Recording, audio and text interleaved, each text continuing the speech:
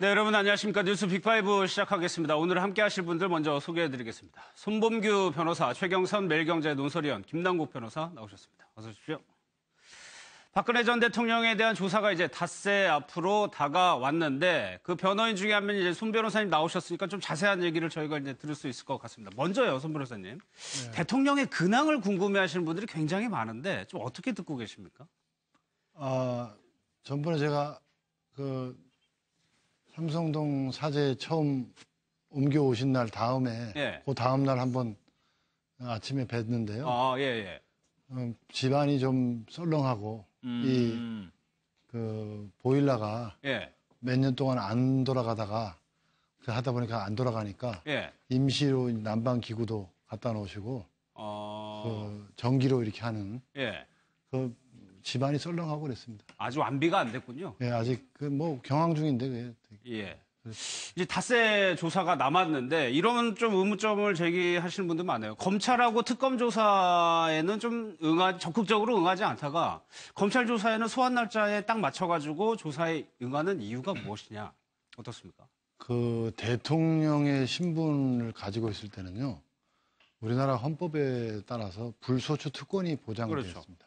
예, 그리고 불소추 특권이라는 것은 이제 예, 불소추 특권의 대표 사- 이제 그 세부적인 의미를 놓고 예, 학설에 따라서는 소추가 안 된다는 것이지 예. 수사는 된다. 음, 또 수사도 해서는 안 된다 하는 걸로 나뉘고 수사가 또 된다라는 예. 견해에서는 강제 수사는 안, 된- 안 되지만 임의 예. 수사는 된다 이렇게 또 나뉘고 음. 또 어떤 견해는 임의 수사도 되고 강제 수사도 된다 예. 여러 가지 학설에 이제 대립이 있는 그런 뭐 상황인데 어쨌든 이 지금은 대통령 신분이 아니지 않습니까? 그렇죠. 형사 소추 불소추 특권이 지금 없기 때문에 일반 국민인데 음, 어떻게 일반 국민과 똑같은 상황인데 예. 검찰의 소환에 응하지 않을 방법도 없고 음. 당연히 응해야 되는 것이죠. 방법이 없어요. 예, 예. 다른 게 뭐 아무 대안도, 대안도 없고 당연한 건데요. 뭐. 예. 그렇죠. 지금은 대, 통령이라 하더라도 전직 대통령 민간인 신분이니까 검찰 조사 뭐 당연히 받아야 되는 당연히. 받아야 되는 거예요. 최 의원님. 예. 네, 그렇죠. 그러니까 어 21일 날 검찰이 출석을 요청을 했을 때 오는 것은 당연하고 수사를 받는 것도 당연하고 예. 방금 말씀하셨다시피 대통령 신분일 때는 불소추 특권이 있기 때문에 또 대통령 입장으로서 선례를 남기는 문제가 있어서 아마 많이 여러 가지로 그 조심스러웠을 겁니다. 그런데 지금은 민간인 신분으로서 그런 법적 특권들이 없었기, 없어졌기 때문에 예. 당연히 수사를 받아야 되는 것이고 적극 협조해야 되는 게 맞는데 예. 저는 이제 그러니까 신분이 변화가 돼서 수- 수사에 적극 협조하는 거는 달라진 건 맞는데 예. 이 조사에 대한 태도가 과연 달라졌을까? 이 부분에 대해서는 지- 진짜 여쭤보고 싶은 측면이 있습니다. 음. 부분 뭐냐면은? 예. 그 헌법재판소가 탄핵 그 이제 결정을 내리기 직전에 제가 네. 청와대에도 이제 아는 분이 있어서 물어보면은 그 당시에도 4대4 정도로 기각될 걸로 알고 있다. 이, 런 식의 그 어떤 저 판단이 많았거든요. 예. 그러면 이제 외부에서 보는 판- 판단하고 상당히 어, 좀 판단이 다르다. 예, 예. 이런 생각을 했, 했는데 이제 꾸준히 대통령께서 이제 말씀하시는 것은 진실은 밝혀질 것이다. 지금 검찰이라든지 특검에서 수사한 것들이 좀 호황되다. 이런 말씀들을 쭉 해오셨기 때문에 예. 저는 옆에 손 변호사님 계시니까 변호사님은 정말 그 우리 어, 박근혜 전 대통령하고 소통이 잘 되는지 그리고 예. 그런 어떤 어, 어, 검찰의 수사 결과에 대한 혹시 좀 태도 변화나 이렇게 쭉 설명을 해드렸을 때 예. 초기에 받아들였던 거하고 중간 단계라든지 이제 뭐 어, 탄핵이 임박해서 그 이후 이때 좀 태도 변화가 좀 있으신지 그 부분도 좀사 살펴주세요. 4대 4로 될 것이라는 생각은 저도 계속 4대 4로 될 것이라고 생각했어요. 아, 손 변호사님도요? 그런데 이제 아. 8대 0으로 나오기 한 2, 3일 전에는 아, 이게 4대 4가 안 되겠구나.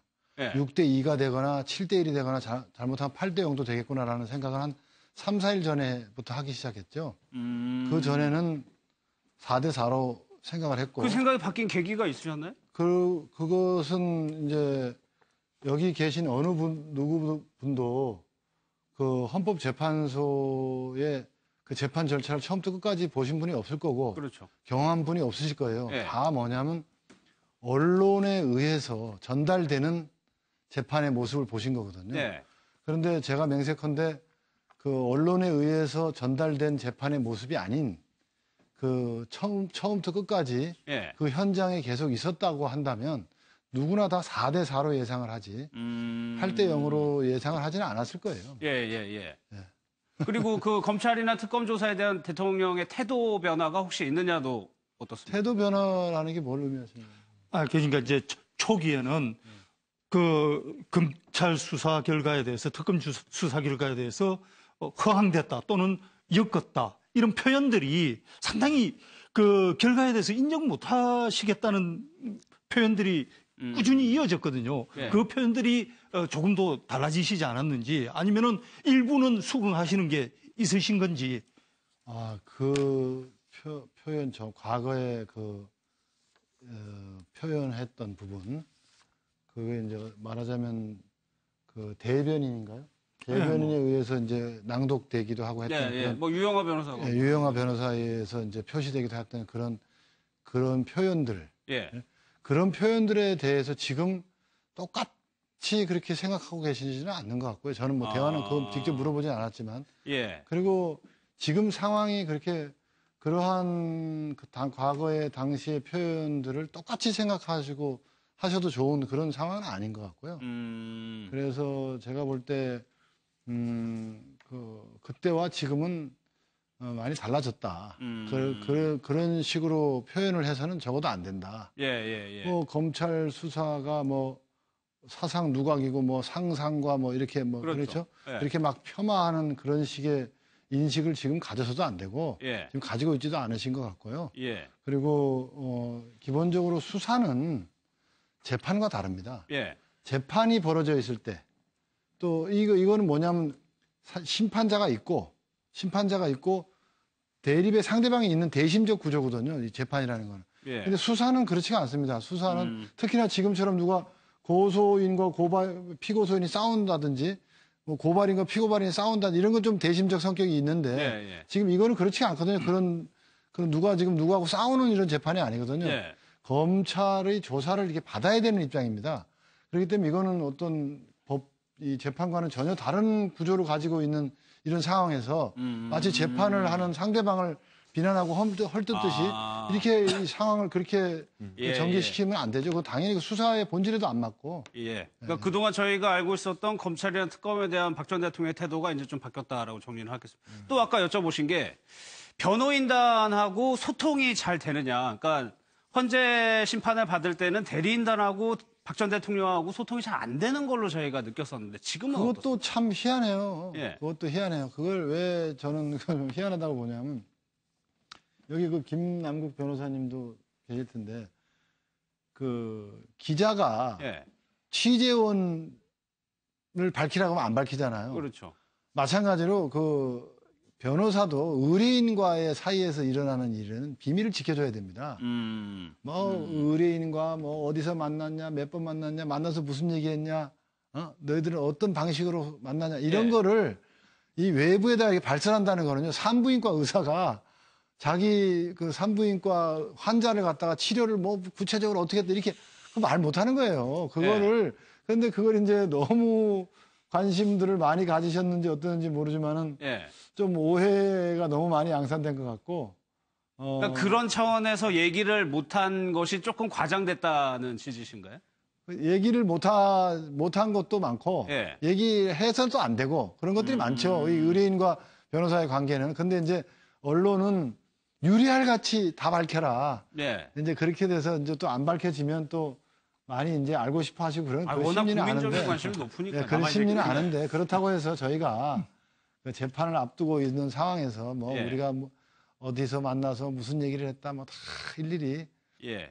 그걸 다 밝힌다는 것은 그건 좀 기대하기가 어렵죠. 잘 되고 있다는 취지로 일단 그렇습니다. 이해하겠습니다. 예, 아마 이제 국민들이 그 박근혜 대통령의 헌재 대리인단이 이렇게 좀 단합된 모습을 보이지 않았다는 것에 대해서 이제 네, 말미에 좀 그런 생각한 이유가. 이제 사실은 이제 변론 방향이 김포미 변호사님이 갑자기 이제 각하 주장이나 뭐 손봉규 변호사님도 각하 주장을 했는데 네. 이 부분과 관련해서 사실은 이중환 변호사님이 기자들과 이렇게 이야기를 소통을 하면서 변론이나 이런 것에 대해서 질문을 하니까 예. 그것에 대해서는 내가 잘 모르겠다. 그 부분은 김평우 변호사에게 물어봐라 라는 또 그런 이야기를 또 하기도 하고 또 그다음에 마지막에 이제 박근혜 전 대통령의 최후 진술문을 대신 읽는 과정에서 이동욱 변호사님이 변호사가 읽었는데 그걸 가지고 김평우 원래 김평우 변호사가 읽어야 되는데 이거 그렇죠. 잘못됐다 뭐 이런. 지적이 있었기 때문에 네, 네. 아마 그런 어떤 이 국민들이 생각을 하지 않았나 생각이 됩니다. 이제 알겠습니다. 진짜 궁금한 네. 것은 이제 박근혜 전 대통령이 이제 마지막 그 민경욱 대변인을 그 변- 의원을 통해서 이야기를 했는데 진실은 밝힐 것이다라고 이야기를 했는데 예. 결국엔 그 부분과 관련해서 박근혜 전 대통령이 생각하고 있는 진실이 조금 다른 것이냐. 사실은 이제 헌법재판소에서는 탄핵과 관련해서 사실 인정을 할 때 여러 가지 사실 인정을 했는데 지금 우리가 검찰 수사 얘기하고 그 부분이 많으니까 헌재 얘기는 잠깐 좀 뒤로 좀 뺄까요? 뭐 검찰 아, 그, 수사 아니, 관련해서 검찰 수사 관련된? 내용입니다. 예. 예. 그러니까 이제 헌재에서는 이미 사실을 인정을 했는데 예. 결국에서는 이제 검찰 수사에서도 아마 헌재에서 인정된 사실을 중심으로 아마 다시 한번 집중적으로 물어볼 그렇겠죠. 것으로 생각이 됩니다. 그런데 이제 그 부분과 관련해서 박근혜 전 대통령이 생각하고 있는 어떤 진실이 이게 조금 다른 것인지 그게 조금 궁금합니다. 아마도 헌재에서 헌재에서 인정한 사실 이렇게 말씀하셨는데요. 우리 예. 김 변호사님께서 지금 검찰에서 이제 밝히려고 하는 부분, 또 검찰을 통해서 밝혀져야 할 부분, 또 더 나아가서 이제 앞으로 향후 재판에서도 밝혀져야 될 부분이라는 이 부분에 대해서 예. 헌재가 서- 이 밝힌 적이 없어요. 그러니까 음, 지금 검찰이 조사해야 될 부분은 뇌물 수수를 했느냐, 예. 직권 남용 권리행사 방해를 했느냐, 예. 강요를 했느냐 이런 형사법적 위반, 형사 규정의 구성 요건 해당 여부, 위법 여부, 처벌 가능 여부 이런 걸 지금 밝혀야 되는데 예. 이제 헌법재판소에서는 그 부분에 대해서 정면으로 판단한 바가 없습니다. 음, 이제 그 부분에 대해서는 다 공란으로 놔두고 분리할 게 없다는 말씀. 처분을 이제 뭐 발표를 안 하셨죠. 그 예. 결정을 안 하고 이제 그 부분을 이제 헌법적 부분으로 이렇게 해서 헌법 위반이 한 부분 하나 있는 거 대통령 권한 남용과 국민 주권 위배 이걸로 이렇게 해서 파면 처분을 한 것이지 예. 파면을 한 것이지 헌재에서 무슨 뇌물을 받았다고 인정하지도 않았고 음, 그랬죠. 예. 뭐 아무것도 인정을 안 했기 때문에 예. 지금 이제 새로 이제 이 부분은 형사법 위반 부분은 새로 이제 시작을 하는 것이죠. 알겠습니다. 민 원장님도 뭐 궁금한 거 있으면 좀 보시죠. 아니 다툼이 굉장히 있겠죠. 그러니까 네. 뇌물죄나 이런 부분 다툼이 굉장히 있는데 문제는 박근혜 대통령이 이제 끝난 탄핵인데 예. 왜 깨끗이 이제는 더 끝난 일을 그 국가 지도자로서 지내신 분이 승복을 아주 쿨하게 우리들 말로 쿨하게 뭐 못- 헌재 결정을 받아들이겠다 네, 식이에요. 결정을 쿨하게 못 받는 게 억울한 부분하고 예. 헌법을 위배한 부분하고 헌법 수호 의지가 있는 부분하고 없는 부분하고 좀 다르지 않습니까? 그런 부분에서 저는 물론 저는 형사 뇌물죄 부분은 다툼이 있다고 봅니다. 네. 그거는 무죄 날 수도 있어요. 예. 정말로 그렇게 저는 인정을 하지만은 그래도 헌법 수호 의지가 없어가지고 이렇게 그 대통령 그 헌법재판소에서 탄핵 파면 결정을 했는데 그걸 왜 흔쾌히 승복을 못 하시냐 이거죠. 그 부분은 어떻게? 그 변호인들하고 좀 그런 걸 소통을 하셔야 되지 않느냐 이거죠. 예. 저, 저, 지금 지, 저 말씀도 저는 상당히 짚고 넘어가야 된다고 보는데요. 지금 브라질 같은 경우에 그 브라질의 여성 대통령도 탄핵이 됐지 않습니까? 예. 그 탄핵된 이후에 그 반응을 보면은 이건 의회의 쿠데타였다. 음. 의회의 쿠데타였다 하면서 맹 비난을 했어요. 예. 그, 어, 그분은. 맹 비난을 하면서 뭐 그냥 엄청난 그, 어, 말하자면 뭐 어떻게 표현하면 뭐 저항이라고 할까요? 예. 뭐 아주 그냥 강력한 불만을 표시하고 그런데 그, 그렇게 그 격한 반응을 보이는 그분에 대해서 막 비난조로 이렇게 얘기하지 않았습니다, 언론에서. 그러니까 음. 어, 어찌 됐건 그 파면 선고가 됐지 않습니까? 예. 어찌 됐건 대통령 자리에서 어, 강제로 이렇게 내려왔지 않습니까? 예. 이렇게 끌려 내려온 상황인데 그런데 이제 그 지금 또 형사 재판은 아직도 이제, 이제 시작을 해야 되고 형사 수사가 시작되는 상황에서 진리는 뭐 진실은 나중에라도 밝혀질 것이다 이렇게 얘기한 것을 네. 가리켜서 그걸 가리켜서 막 승복하지 않는다 너무 이거 좀 잔인한 것 같아요. 이게 뭐냐면 뭐냐면 아. 어, 지금 예를 들어서 예. 형사 재판까지 다 끝났다. 예. 형사 재판까지 다 끝나고 대법원에서 형사 재판까지 다 끝나도 그래서 이제 감옥소로 가는 사람도 예. 나, 아, 이거 억울하다. 이 대법원 예. 재판 잘못됐다라고 하면서 나는 전혀 돈 안 받았다 이런 사람도 많이 있었습니다. 우리 헌정사에. 예. 최근에도 있고요. 근데 아직 헌법 이제 검찰 조사가 이제 시작도 아직 안 됐어요. 음. 그런 상황이고 이제 탄핵에서는 이미 탄핵이 인용됐고 예. 그래서 이제 내가 모든 것을 안고 가겠다. 그러나 진실은 밝혀질 것이다. 예. 이렇게 얘기한 것이 그 정도 얘기를 가지고도 이렇게 그냥 막 무슨 큰 무슨 일이 난 것처럼 너무 예. 이렇게들 하는 게그 그 아직도. 대통령으로 예. 네, 아직도 대통령은 아니지만 아직도 많은 어떤 정치적 지분을 가지고 있다거나 예. 어떤 상당한 국민적 영향을 가지고 있기 때문에 반대편에서 이게 겁이 나서 그러는 건지 왜 그렇게 관심을 많이 가지는 건지 모르겠어요. 이제 이제 네. 자기들 말 언법에 따르면 그냥 이제 야인에 불과하고 시민에 불과한데 왜 그렇게 그 말을 가지고 이렇게 그 부담을 가지는지 모르겠어요. 그냥 아, 그냥 놔두시죠, 뭐. 예, 예. 네. 최 의원님 뭐. 아, 저는 예. 뭐손 변호사님 말씀도 맞습니다. 예. 일단 대통령 어, 전직 대통령이 됐고 청와대에서 물러난 그 자체만으로도 사실 승복한 것이지 불복한다면은 아직도 어, 청와대에 남아서 볼수 불복하겠다고. 예. 어, 그- 그러는 게 불복이지 지금은 승복이라도 고도 볼 수 있습니다. 그렇지만은 제가 기대했던 승복의 모습하고는 상당히 다르기 때문에 이제 실망감이라든지 안타까움, 아쉬움 이런 걸 표시하는 것이죠. 예. 그 사실은 그날 10일 날 탄핵이 되고 나서 시위대 중에 3명이 목숨을 잃는 일까지 있었지 않습니까? 예. 그래서 저는 당초에 기대하기로는 그 헌법재판소 판결이 나자마자 대통령께서 얼마 지나지 않아서 앞으로 형사재판이라든지 이런 부분에 대해서는 다툼의 소지가 있고 앞으로 다투어 나가겠지만 음. 오늘 있었던 헌재 결정에 대해서는 겸허하게 수용하고 우리 지지자들도 예. 이런 부분에 대해서 흥분하지 말고 어, 질서를 지켜주기 바란다. 예. 이런 정도의 그 어, 성명이 나와줄 걸로 제가 기대를 많이 했었거든요. 왜 예. 이런 기대를 했냐면은 2007년 한나라당 경선 직후에 이명박 후보와 박근혜 후보가 경선에서 어, 그렇게 치열하게 다투고 나서도 저 이명박 후보한테 경선에서 졌을 때 그 이후에 박근혜 후보가 보여준 그 승복 연설이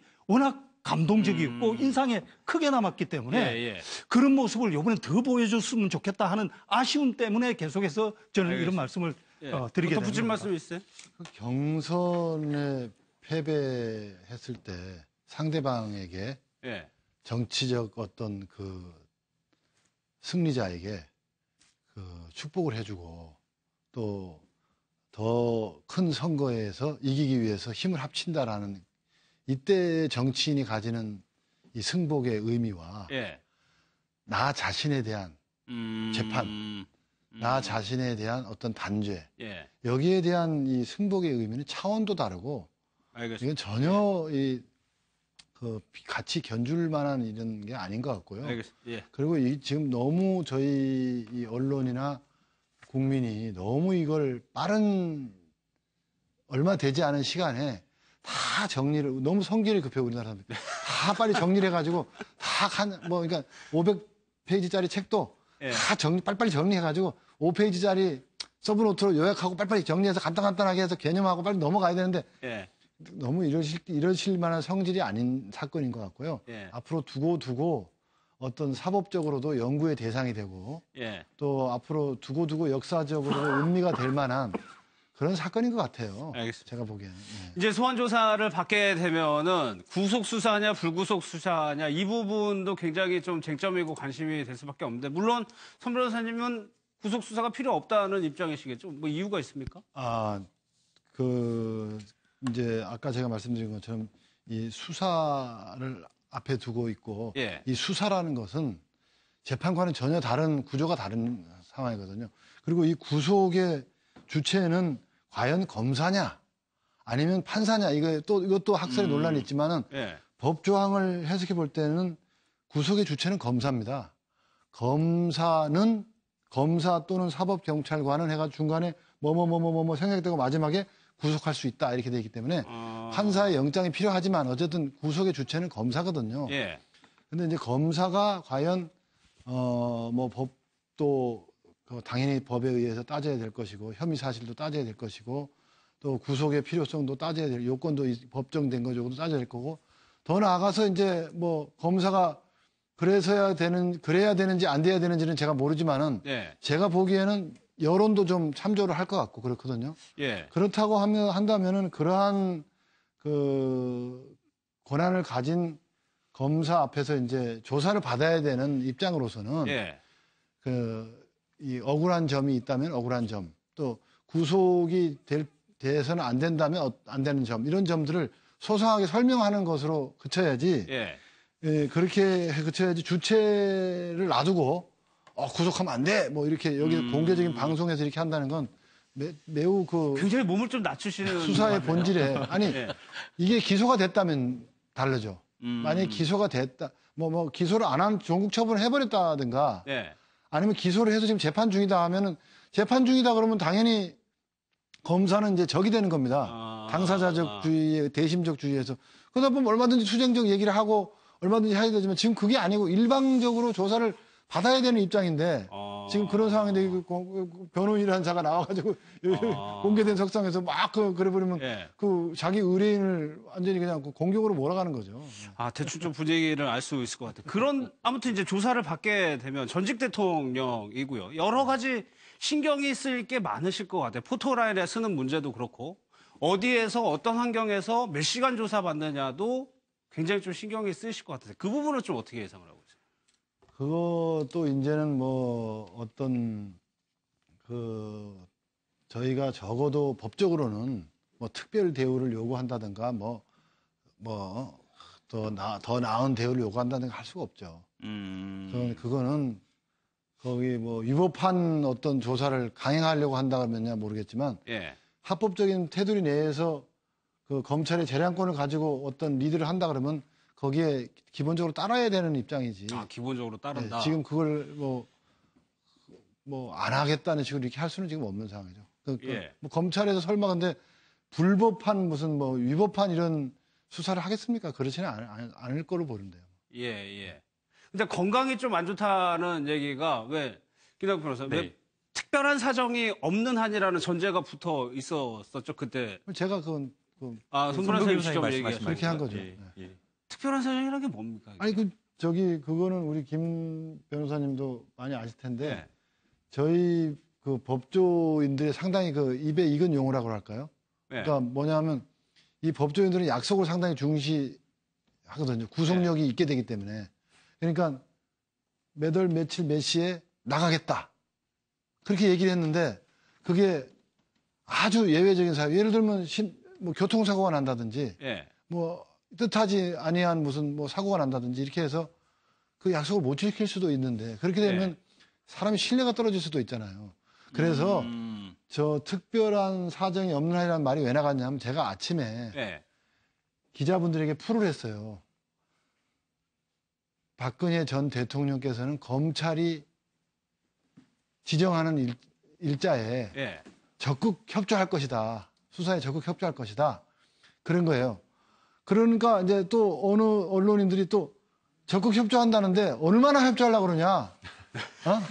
그 적극이 어떤 적극? 협조한다는데 얼마나 협조한다는 거냐. 그래서 제가 그러면 나오겠다고 어떤 인- 인감 도장이라도 찍어서 예. 나오겠다고 뭐 갔다가 찍어서 보여줘야 되냐 어떻게 해야 되냐 했더니 그렇게까지는 아니지만 좀 얘기를 하라는 거예요. 그래서 내가 그러면 그러면 그냥 적극 협조하겠다는 것보다 더 강하게 예. 어떤 메시지를 줘야 되겠구나 생각을 해가지고 제가 대통령님께서 뭐 안 나오신다는 취지가 아니니까 가시겠다고 그랬으니까 그래서 제가 예. 특별한 사정이 없는 한 참석하실 그 수사에 응하실 겁니다. 음, 너무 걱정하지 않으셔도 됩니다. 믿으셔도 됩니다. 음, 신뢰하셔도 됩니다. 음. 마음 편히 가지십시오. 뭐 이렇게 막 보내줬어요. 그런 취지에서 그 얘기 어떤 기자인지 모르지만 특별한 사정이 없으면 적극 협조한다는 그 워딩을 그 특별한 사정이 요놈이 있구나 이렇게 해가지고 이제 안, 한- 안 나오려고 그러는 거야.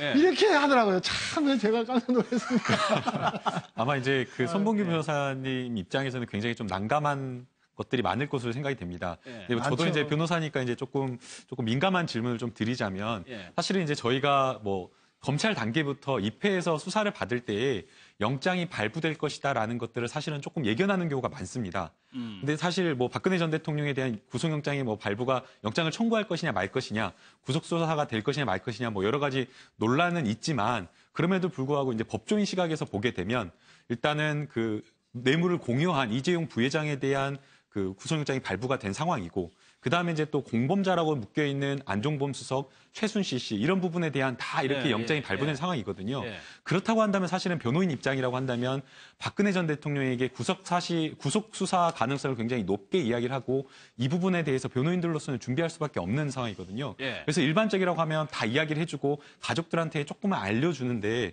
혹시 이제 손봉규 변호사님도 그런 부분에 대한 변호인단에서 어떤 준비나 아니면 음. 박근혜 전 대통령에 대한 이런 부분에 대한 어떤 냉정한 어떤 평가에 대해서 좀 이야기 를 해준 것인지 왜냐하면 이제 탄핵 어떠세요? 선고가 예, 탄핵 당연히 당연히 말씀을 드리고 있고 예.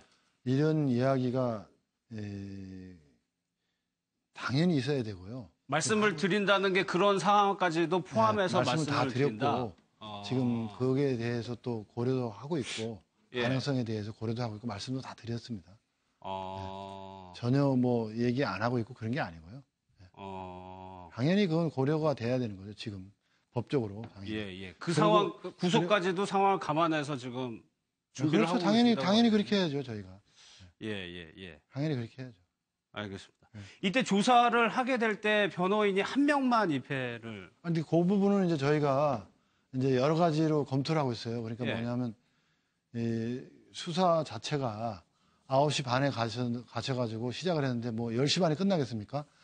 그 저, 최소한 저희가 보기에는 그날 밤 10시까지는 하고도 남을 걸로 보여지는 12시간 이상. 예, 이게 그 정도가 되는데 변호사 한 명이서 딱 계속 그렇게 그걸 그 음. 입회한다는 것도 그 변호사도 무리고 그러니까 뭐 한 시간마다 한 번씩 변호사를 이렇게 이 바꿔가면서 입회를 하는 음. 방법도 있고 예. 그리고 지금 지금 무엇을 조사 검찰에서 지금 어떤 사건을 조사하느냐에 관점을 맞춰가지고 예. 지금 어느 어느 부분 뭐 안종범 수석과 관련된 부분이냐?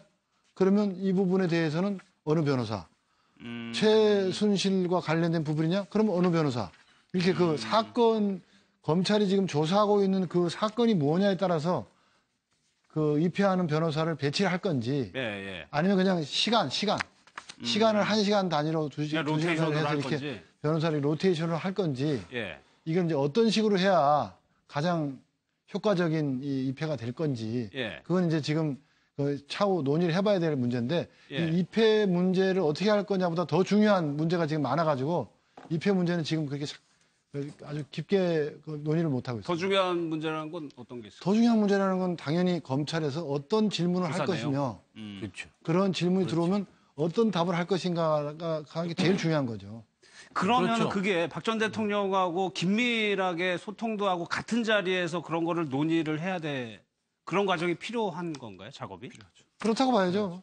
그리고 어. 그, 그거 작업을 오래전부터 해온 사람이 그 유영아 변호사는 오래전부터 해왔잖아요. 음. 그- 그래서요. 그 지금 계시는 뭐 선임된 변호사님들 무시하는 게 아니라 예. 그래서 일반 사람이 생각할 적에는 박근혜 대통령이 어떤 사안에서 조사를 받을 적에 박근혜 전 대통령 표현대로 엮이지 않도록 답변을 잘 해야 되잖아요. 답변 안 해야 될 부분 안 해야 되고 또 이렇게 해서 유도 질문 너무 하지 말라는 식으로 이렇게 해서 옆에서 조언을 해줘야 돼. 그래서 좀 아주 그 수사통에서 아주 예. 실력이 정통된 그런 또 아주 뭐 전관이라 할까요? 예. 이런 그런 분들이 좀 있어야 되는데 좀 그런 그 정통 수사검사 출신 검사장급 이상의 예. 고위 간부 출신 검사 출신의 그런 변호인이 좀 안 보여서 그 부분 추가적으로 얘기, 더그 들어갔다는 없죠. 말씀드릴게요. 네. 그 이제 이 부분을 대부분 다 이제 기자님들도 그렇고 그 선임계를 낸 변호사를 이제 자꾸 생각을 하세요. 예. 근데 이제 선임계를 내면은 이제 검찰청에 출입을 할 수가 있고 예. 검, 또 수- 의뢰인이 조사받을 때 입회도 할 수 있고 하지만 변호사가 꼭 그것만은 아니거든요. 음. 꼭 선임계를 내, 내야만 그 도와줄 수 있는 건 아닙니다. 음. 어, 뭐 자문도 할 수 있고 예, 예, 자기 예. 의견도 뭐 써서도 줄 수도 있고 어 그죠? 여러 예. 가지의 또 변호사를 또 자문해 줄 수도 있고 저희 변호사를 예. 그래서 그런데 이제 요즘 뭐 여론조사에서 뭐 그런 게 있잖아요. 샤이 보수다 뭐 그런 게 있지 않습니까? 그래서 심정적으로는 어, 보수층이면서도 또 뭐 심정적으로는 예를 들어서 탄핵을 거부하면서도 뭐 여론조사에 응하지 않는다든가 뭐 반대표를 네. 던진다든가 이런 사람들이 있는 것과 같이 마찬가지로 어떤 검사장을 지내셨다든가 뭐 법원장을 지내셨다가 이런 법조계의 거물이 거물인데 음. 이 박근혜 전 대통령을 돕고 싶은데 예. 내가 선임계를 내서 그걸 만천하에 내 이름이 알려지면 예. 지금 분위기가 음. 사회적 분위기가 그분들 용어로 말씀드리자면 마녀 사냥이 진행되고 있는데 예. 내가 내 이름을 이렇게 내보이기까지는 좀 그렇다. 음. 그러나 나는 돕기는 돕는다 하고 이제 여러 가지 도움을 주시는 분들도 있고 하고. 그러니까 여기 하기 이름이 때문에, 거론되지 않고도 유력한 법조인들이 주변에서 도와주고 있다라는 뭐, 말씀이시죠. 뭐 많다 그러면 또 오해의 소지가 되니까 예. 뭐뭐몇 분이 도와주고 계시죠. 알겠습니다. 최순실 씨 변호사인 이경재 변호사가 오늘 기자회견을 했는데 그 내용 일단 보고요 좀 이야기 좀 이어가겠습니다. 목이 목이 다 쉬었더라고. 봤더니 뭐 대성 통곡한 건 아니고 그냥 많이 울었대. 어, 장시호가 그걸 듣고는 표현을 그냥 어, 대성 통곡이라고 이래 하니 어, 최가 쇼하는 것 같이 비춰질 수 있지 않겠느냐. 많이 울었대요. 많이 울어가지고 그래서 목이 아마 음, 쉬어서 어, 제대로 어, 말을 잘 못하고 있는 그런 상태. 어, 자, 자신으로 인해 가지고 이런 음, 어, 참담한 일이 일어난 것에 대해서는 뭐 저 말할 수 없는 그런 후회 막급한 그런 걸 가지고 있습니다. 그는 이 얘기는 자꾸 오해를 하는데 어, 예, 그 법적 책임 여부를 하는 것이 아니고 어쨌든 자기 때문에 일어난 일이 아니냐. 최순실 씨가 많은 죄책감을 느끼고 있다고는 하는데 재판에서는 박근혜 전 대통령의 지시를 내가 따른 게 잘못이었다 이런 취지로 얘기를 했었단 말이에요. 그것은 그렇게 봅니다. 지금 이것까지 이렇게 이런 부분까지 상세하게 얘기하는 것은 이 수사에 어떤 뭐 아, 얼마-? 어떤 느낌이 줄지 모르겠는데요. 예. 그러니까 사람이라는 건 어, 누구나 자기가 살고 싶어 하거든요. 음. 그런 측면이 좀 있는 것 같아요. 그러니까 음.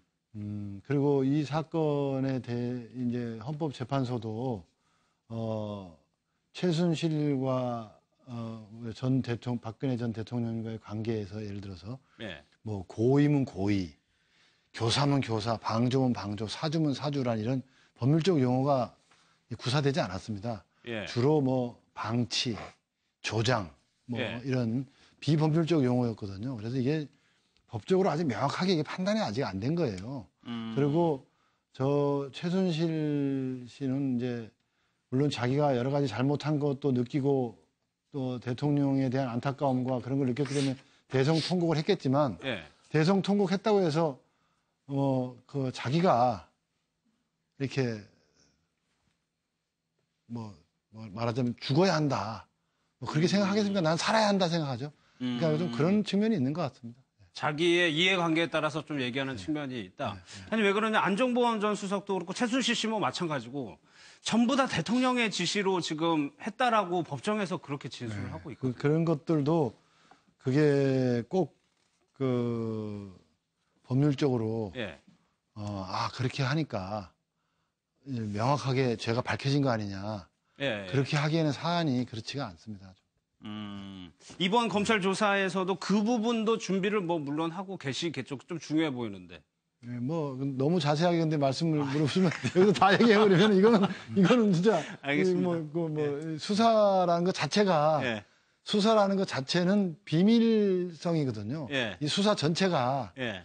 비밀이 유지돼 나가는 비밀적인 과정이고 재판에야 이제 공개지만은 예. 그래서 이제 물론 수사관은 이제 수사의 주재자인 검사는 뭐 이제 에, 자기가 피의 사실 유포에 해당하지 않는 한도 내에서 수사 경과를 브리핑하고 뭐 이렇게 함으로써 뭐 알려줄 수가 있겠지만 예. 저희 같은 경우는 의뢰, 의뢰인에 대한 이런 의뢰인의 비밀을 유지하고 보호하고 음. 의뢰인을 이제 좋게 가게 돼야 되는 입장에서 예. 이뭐 할 말 안 할 말 뭐든지 그냥 다 그냥 아무거나 다 그냥 국민이 궁금하면 다 한다고 해서 여기다 다 방송하면은 예. 그건 이건 아니죠 수사에 알겠습니다. 검사에 대한 예의도 아닙니다. 그건. 예. 소환이 뭐 닷새나 남았고 그 고충은 뭐 충분히 이해를 할 만합니다. 하나만 더 여쭤볼게요. 오- 어렵게 나오셨으니까.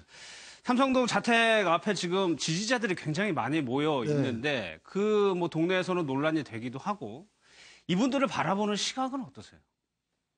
뭐참 인지상정 이라는 말이 떠오르는데 예. 그 참 얼마나 안타깝고 그 그러시면은 저렇게 와서 하루 이틀도 아니고 저러시나 싶은 생각도 들고. 근데 요즘 또 여론이 따갑더라고요. 그 아이들 동네 아이들이 저기 학교 가는데도 방해가 초등학교 되고 바로 옆에 있으니까. 시끄럽고 그런데 저 언제까지 저럴 거냐. 예. 주변은 사람들에 대한 피해가 아니냐. 뭐 그런 면도 있고 한데 참 그렇습니다. 그 어떤 대규모 불법 시위라든지 또 뭐 지속적인 어떤 시위 예. 그리고 몇 년 지나서 보니까 아무것도 아니었는데 그때 당시에 막 난리가 나가지고 막 그냥 그 격, 격분했던 시위 그런 시위들 때문에 얼마나 많은 사람이 민원을 넣고 재산적 피해를 보고 민원을 넣고 고통을 받았어요. 예. 근데 그때는 별다른 말이 없던 이 일부 언론이 지금 저 상황에서는 음. 마치 삼성동에서 무슨 큰 일이 벌어져가지고 수많은 국민이 도탄에 빠진 것처럼 너무 또 이러니까 그것도 좀 균형이 안 맞는 것 같아요. 알겠습니다. 네. 손봉규 변호사님하고는 여기까지 좀 하도록 하겠습니다. 다음 내용으로 좀 넘어가겠습니다.